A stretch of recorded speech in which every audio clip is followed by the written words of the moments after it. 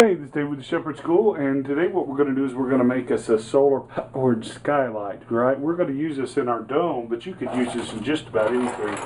Um, I've seen this several times. I use a lot in third world countries, but this particular permutation that I'm using, I saw a guy use it on YouTube for his uh, chicken coop.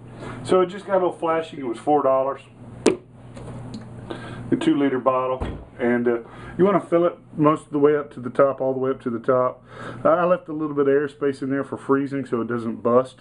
Um, even though this is designed for a little bit of pressure because of the uh, um, uh carbon dioxide in it so you know you might want to experiment. And and you might want to put a little bleach in there to keep algae and stuff from growing in there okay and he used aluminum foil. The video I saw, they used aluminum foil to kind of direct the sunlight down. I've got a Mylar emergency blanket that I'm going to use. And then I've got some wire and a couple of eye bolts. Okay. And about how much? About that much.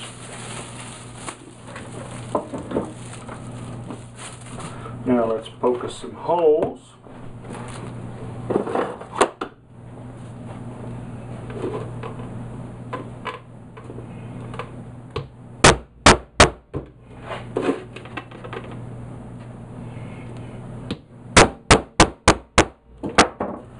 Alright, drill that out a little bit. I'm just going to take me a little bolt.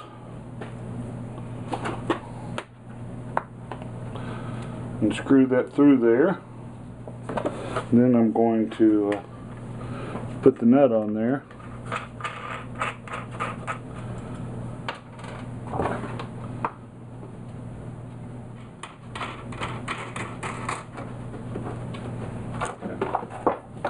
Now what I'm going to do is take my mylar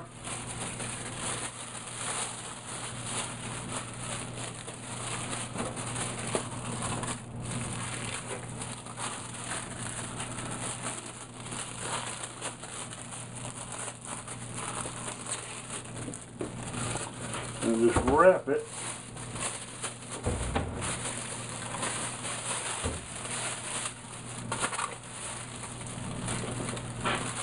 pretty tight.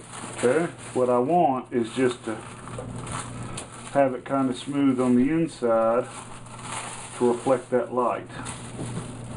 And I've got some black duct tape. It don't have to be black. You use whatever color you want. But I thought it'd be nice and match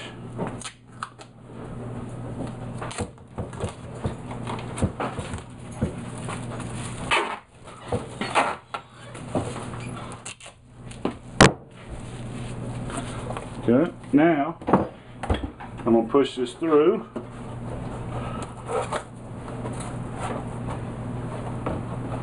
Flip it over. I'm going to take my wire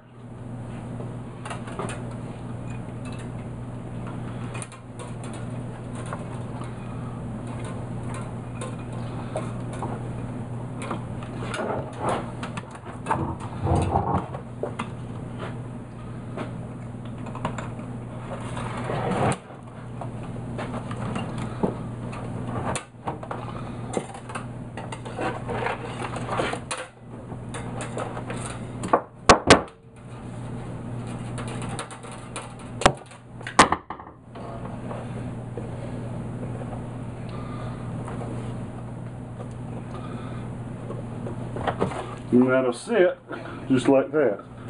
Okay, now let's test it out a little bit.